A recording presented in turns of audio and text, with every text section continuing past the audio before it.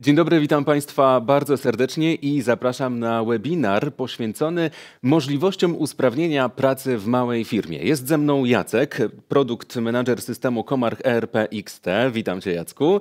E, Jacek opowie dzisiaj o samym systemie, ale też zdradzi nam kilka szczegółów związanych z rozwojem tego programu. Jacku, zacznijmy może od tego, jak w tym momencie wygląda sytuacja w małej firmie. Dzień dobry Państwu, cześć Sebastian. E, bardzo się cieszę, że jestem tutaj z Wami i mogę podzielić się troszeczkę moim doświadczeniem i przemyśleniami.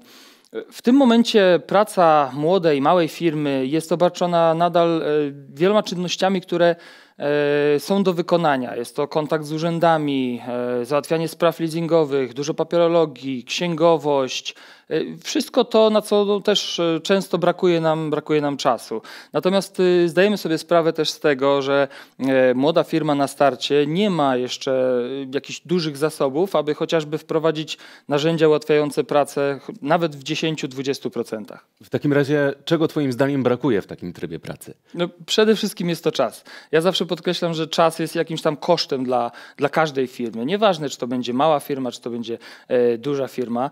E, na czynności około biznesowe y, młoda firma, mała firma poświęca naprawdę bardzo dużo czasu. Jest to e, dogadanie się z dostawcą, załatwienie sprawy z mm, zamówieniem, e, oczywiście wystawienie faktury, do, dopatrzenie na to, żeby to zamówienie dotarło, wystawienie e, tej faktury, dopilnowanie płatności, często upominanie się o tą płatność, samemu pamiętać, żeby za, za, za E, zapłacić dla naszego dostawcy. Także jest tego, jest tego bardzo dużo i, i w takim trybie y, naprawdę potrzebne jest to, żeby ktoś nam ułatwił tę pracę, y, zajął troszeczkę y, mniej tego czasu. No i mamy tutaj specjalistę, 12 lat doświadczenia we wprowadzaniu programów do obsługi firm. W takim razie nie mogę Cię nie zapytać o to, co byś polecił. Faktycznie korzystając, znaczy bazując na moim doświadczeniu, a pracowałem z firmami od bardzo małych po bardzo duże, e, każda firma dąży do tego, żeby usprawnić swoje procesy wewnętrzne, żeby zautomatyzować pewne procesy, żeby nie, nie poświęcać takiej dużej ilości czasu na coś, co można załatwić jednym, dwoma kliknięciami, albo nawet system może sam wykonać za nas. Natomiast y, zazwyczaj tego typu usprawnienia y, dużo kosztują, po prostu. Tutaj nie ma co się oszukiwać, y, są to rzędy, koszty rzędów kilkunastu, nawet kilkudziesięciu, a często i powyżej 100 tysięcy złotych. Wiadomo, jeżeli jest startuje mała firma, to e, nie stać ją na, na, na wprowadzenie tak, e, tak dużego kosztu. Natomiast my tutaj w Komarch, bazując też na doświadczeniu ponad 25-letnim z wdrażaniem różnego systemu, mamy przy XT tą fajną rzecz, że możemy to doświadczenie wykorzystać.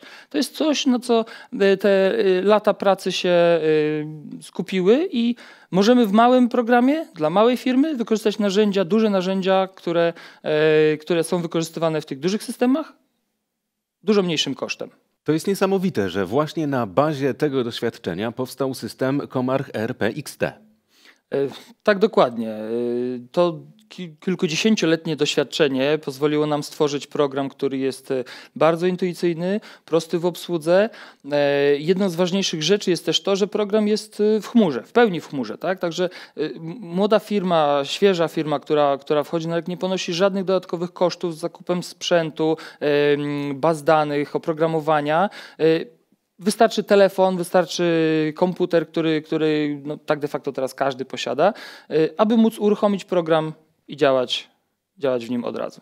To teraz konkrety, Jacku. E, jak system Comarch ERP XT może usprawnić pracę Waszych klientów? Przede wszystkim staraliśmy się, aby Comarch ERP XT był bardzo intuicyjnym i bardzo prostym w obsłudze programem. Ja zanim przejdę do takich e, stricte funkcji, czy też funkcjonalności programu, chciałbym powiedzieć taką krótką historię, gdzie ostatnio klient opowiadał, jak e, rozmawiał ze swoim klientem i no, tam um, po prostu przekazywał mu informację, że odbierał usługę, którą wykonał, poprosił o wystawienie faktury. Schował telefon do kieszeni i po chwili otrzymał maila z fakturą za tą usługę. No i tak zdziwił się troszkę, bo to było bardzo szybkie i tak y, troszeczkę z konsternacją zadzwonił z powrotem do tego klienta i mówi, no ale jak, gdzie i dlaczego? A on mówi, że ma właśnie taki program RPXT, gdzie po wystawieniu, które trwa bardzo krótko, wystarczy nacisnąć wyślij i faktura z, e, znaczy mail z fakturą ląduje na, na skrzynce odbiorcy. E, nasz klient wtedy powiedział, że on też chce mieć takie rozwiązanie i od tamtej pory po prostu używa RPXD. Ale krótko to znaczy ile? Krótko, no, mierzyliśmy to i faktycznie wystawienie faktury w naszym systemie, czy to na wersji przez przeglądarkę internetową, czy to na aplikacji na smartfonie, to jest kilka, kilkanaście sekund. Kilkanaście sekund to brzmi trochę nieprawdopodobnie. Nie chcę mi się do końca w to wierzyć, że to trwa naprawdę kilkanaście sekund. Ja wiem, ale tak faktycznie jest. Mierzyliśmy to na wielu fakturach. E, w tym momencie wystawia się, mała firma wystawia około 80-85% faktur jedno, maks dwupozycyjnych.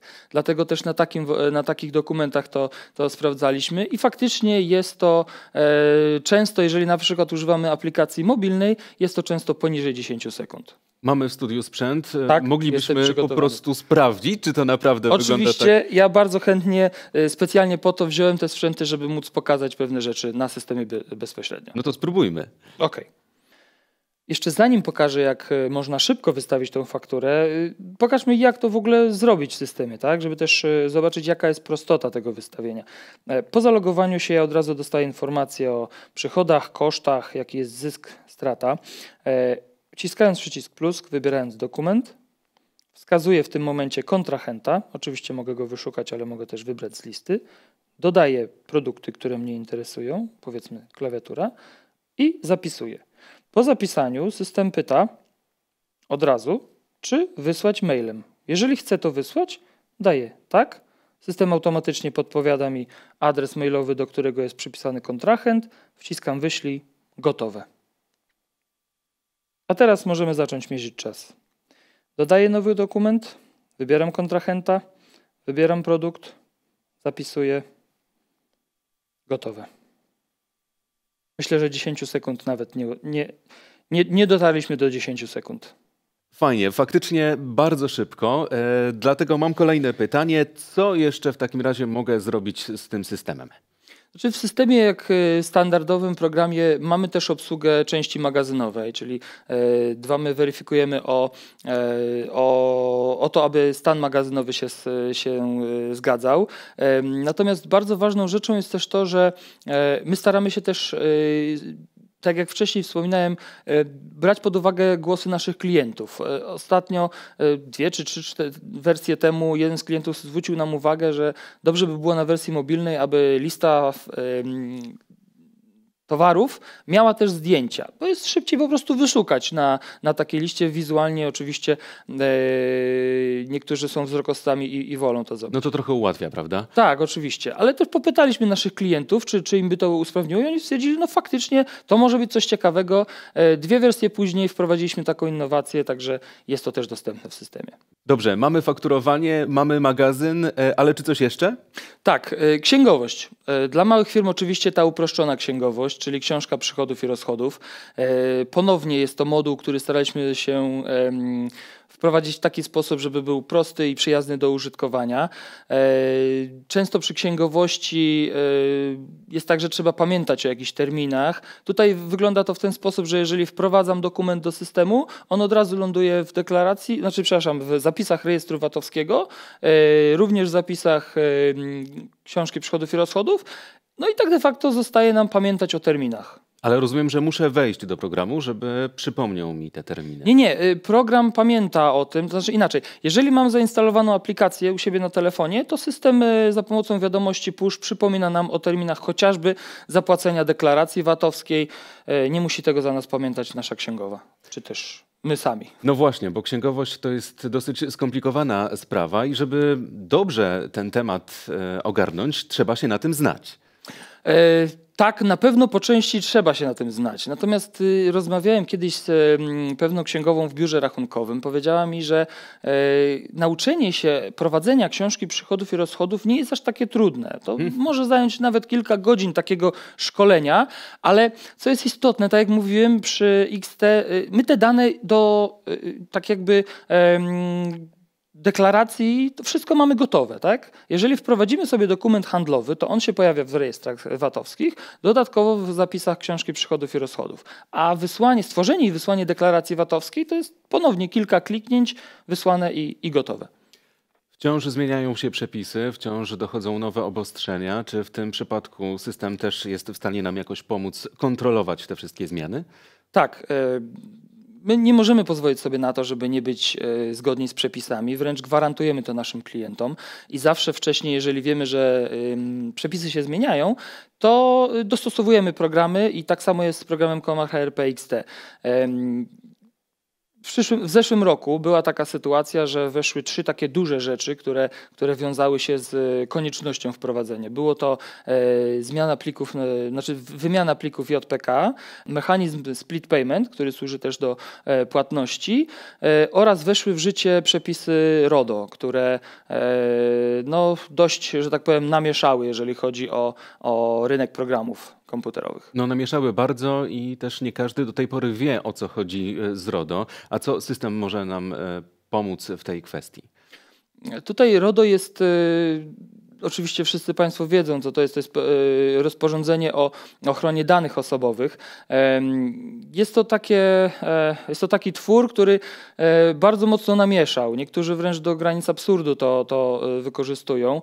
Warte podkreślenia jest to, że nie tylko my jako dostawca i program jest gotowy na RODO, czyli, czyli my te dane, które, które mamy powierzone, przetwarzamy w sposób zgodny, ale też umożliwiamy naszym klientom wewnątrz systemu możliwość przetwarzania danych swoich klientów. Całkiem niedawno e, moja koleżanka była e, po prostu w sklepie, gdzie kupuje się firanki. E, I wiadomo, jak to jest. Podaje się wymiar, wybiera się krój, to są pewne dane. Nie, nie przychodzi się do takiego sklepu, bierze się firankę, i wychodzi. tak?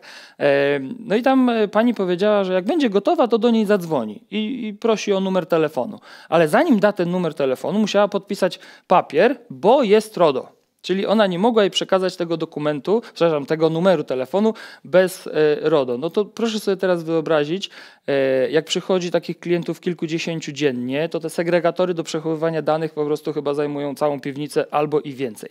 My w systemie udostępniamy to klientom, oni mogą w sposób elektroniczny ewidencjonować zgody na każdym kliencie, jest to dostępne spod ręki, bardzo szybko wyszukiwanie i nie ma z tym żadnego problemu. Czyli potrzebujemy do tego rozbudowanych narzędzi.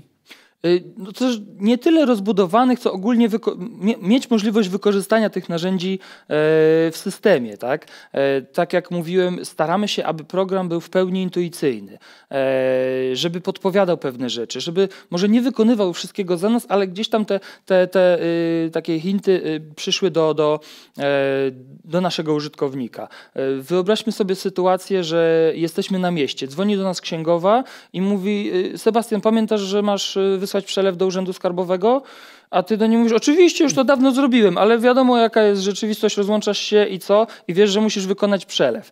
E, wchodząc do programu, wchodzisz sobie na listę e, przelewów, zaznaczasz te, które są na dzisiaj, ich może być nawet 20, generujesz paczkę do banku, po czym logujesz się do bankowości internetowej, wczytujesz tą paczkę i jednym kliknięciem wysyłasz ją do 20 czy nawet 20-30 e, swoich kontrahentów. Ale tak czy inaczej, wywołaną tutaj już księgową, w pewnym momencie będę musiał spotkać się osobiście. Y, I tak i nie. Jeżeli sami nie prowadzimy księgowości w programie, to korzystamy zazwyczaj z usług y, biura rachunkowego. Tak? E, moja księgowa jest super osobą i uwielbiam z nią rozmawiać, ale też de facto nie chce mi się jechać raz w miesiącu, czy nawet dwa razy w miesiącu na drugi koniec miasta, bo to znowu generuje stratę niepotrzebnego czasu. W Komach RPXT mamy taką usługę, która się nazywa IWD, to jest internetowa wymiana danych. Jeżeli biuro rachunkowe prowadzi księgowość na programie e, RP Optima, który e, jest tak de facto wśród biur rachunkowych jednym z najpopularniejszych, to wysłanie takich e, dokumentów, paczki dokumentów z całego miesiąca do księgowej, to jest ponownie kilka kliknięć. Mhm. Przejdźmy teraz do tematu tworzenia analiz naszej, naszego przedsiębiorstwa, naszego małego przedsiębiorstwa. To bardzo trudna i mozolna sprawa. Mnie się kojarzy po prostu z pracą w Excelu, a mało kto to lubi. Tak, masz rację. Tutaj akurat y, część analityczna w biznesie jest bardzo ważna. Zdaję sobie sprawę z tego, że wiele osób mówi, że te wszystkie tabelki, y, wyplute dane do Excela, które, które mamy, które gdzieś tam żenimy ze sobą, to jest mozolna praca, ale jest to dosyć y, istotna część, jeżeli chodzi o, o pracę. W momencie, kiedy zaczynamy wdrażać trochę bardziej rozbudowane narzędzia analityczne, klienci zaczynają zauważać całkiem inny trend swojego biznesu. Okazuje się nagle, że na przykład na jednym kliencie trochę bardziej tracimy niż nam się wydawało, e, a na innym zyskujemy, co tak de facto też nie było wcześniej widoczne patrząc na, na listę dokumentów, nie zawsze to wychwycimy, tak? bo widzimy tutaj jest suma zyski, tutaj straty, jest ok. Tak? A analityka pozwala nam na, na takie głęb, głęb, głębsze zerknięcie w, e, w, w naszą firmę i zobaczenie, co gdzie faktycznie bardziej się opłaca. No tak, mówimy tutaj cały czas o oszczędzaniu czasu, ale czy faktycznie te wszystkie rzeczy związane z dokonywaniem analiz pozwalają nam w systemie oszczędzić czas? Yy, tak, y, moduł BI Point, który jest dodatkiem do systemu Komar HRP XT, działa na takiej zasadzie, że analizy tworzy się bardzo prosto. Jest to tabela przestawna, którą my sami metodą y, przesuń i upuść wprowadzamy tam dane, te, które chcemy analizować. Wprowadzamy, po czym ma się to analizować, jakie dane mają tam się znajdować i ewentualnie też oczywiście w jakich ramach czasowych, no bo to wszystko jest do, do edycji. I jak już zadamy systemowi, powiem mu, ja, mnie interesują te konkretne dane, no to ta analiza jest tam gotowa. Ale żeby jeszcze bardziej pójść e, tak jakby w oszczędność tego czasu i, i możliwość usprawnienia pracy, e, możemy zadać systemowi, zrób mi tą analizę raz w tygodniu i wyślij ją na maila w poniedziałek na przykład, za cały zeszły tydzień e, i to już daje nam realne, realne oszczędności, jeżeli chodzi o, o czas. Natomiast jeżeli chcemy coś zmienić, zawsze możemy sobie wejść, poprawić tą analizę, do, do, dołączyć jakieś dane, które będą nas interesowały i ponownie będą one do nas przychodziły automatycznie. Ale tak czy inaczej e, nie wygląda to już tak strasznie jak e, praca w Excelu no i tworzenie tego wszystkiego. Excel jest fajny. Excel jest fajny, ale to jest tak jak kartka papieru. On przyjmie wszystko. Wystarczy się w jednym miejscu gdzieś pomylić, no i już mamy, mamy z tego problem. Natomiast jeżeli wyciągamy dane bezpośrednio z bazy, to one, tam nie ma tak de facto możliwości pomyłki. Dobrze, mamy analizowanie. E, czy coś jeszcze w takim razie? Tak. E, jednym z nowych modułów, który w tym roku e, wypuściliśmy, jest moduł POS.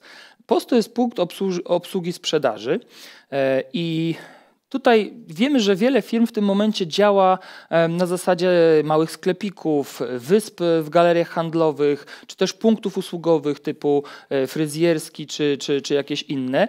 E, w tego typu miejscach potrzebne jest e, wystawienie paragonu, potrzebna jest obsługa klienta. Natomiast często, chociażby biorąc pod uwagę te wyspy w galeriach handlowych, tam nie ma za dużo miejsca na sprzęty. Nie, nie ma gdzie postawić komputera, dużej drukarki i tak. Tak jak mówiłem, klienci zgłaszali zgłaszali nam zapytania o, o, o taką prostą obsługę sprzedaży detalicznej i na tej podstawie powstał moduł, moduł POS. Mm, POS kojarzy mi się z barem. E, tam widziałem tego typu urządzenia. Czy to jest coś w tym stylu? To jest coś podobnego?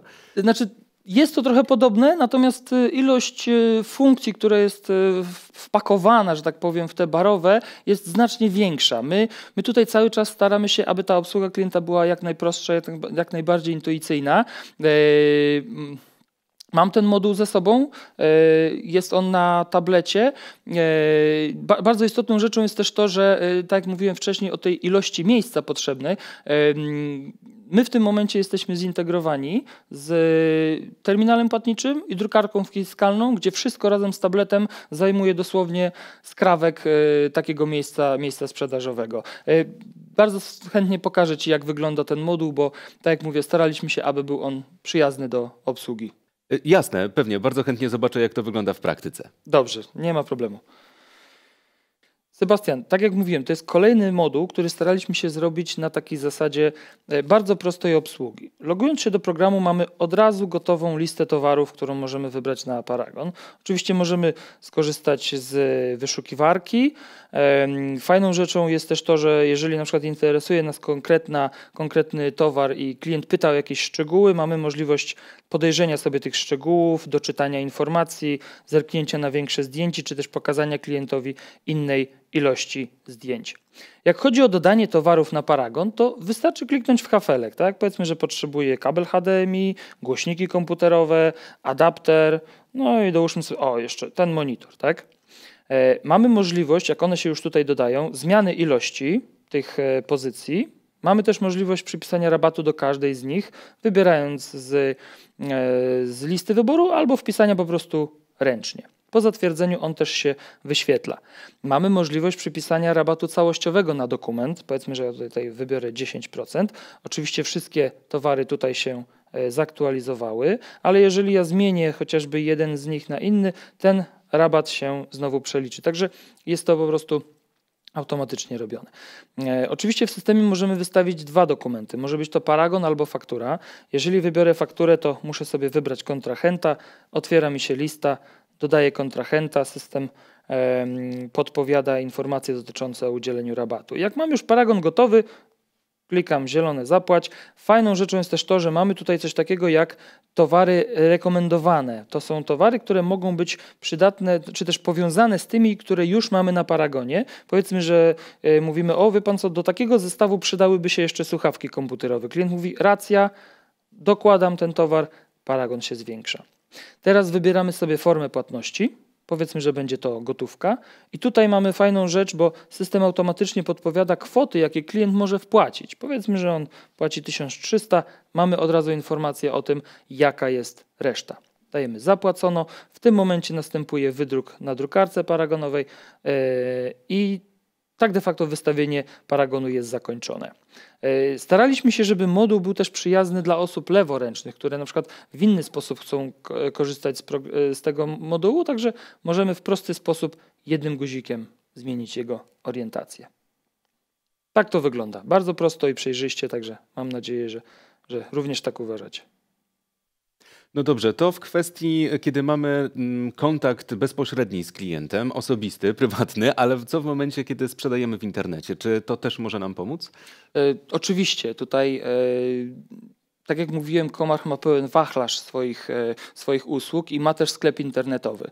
Mając e, ten sklep internetowy w połączeniu z Komarch RPXT, e, mamy prostą, że tak powiem, proste narzędzie do, do sprzedaży w internecie. Wszystkie dane, które są potrzebne o towarze, jego zdjęcia, opisy są w XT. One są wysyłane do sklepu. Jeżeli ktoś zamówi, to takie zamówienie ląduje w systemie. Trzeba wystawić fakturę, wysłać i wysłać towar. E, oczywiście, z, e, tak jak wcześniej wspomniałem, z opcją e, monitorowania stanu, żeby też nie mhm. sprzedawać ponad stan, prawda? Mm, czy ten system będzie nadawał się dla osób za bardzo niewtajemniczonych w biznes? W sensie, jak często, jak szybko mogę uzyskać pomoc w obsłudze tego systemu? System jest naprawdę bardzo intuicyjny. Każda jego wersja, czy to będzie aplikacja na telefon, czy to będzie wersja na stronie internetowej, jest tworzona metodą taką utrzymajmy to jak najprościej, jak tylko można. Natomiast jeśli faktycznie e, ktoś będzie miał jakikolwiek problem, to mamy tutaj całe zaplecze możliwości pomocy dla takich osób. E, mamy bezpłatną infolinię, mamy pełną stronę, która e, ma opisane wszystkie tematy związane z systemem wraz z instrukcjami, jak na przykład wystawić fakturę zaliczkową i tak dalej.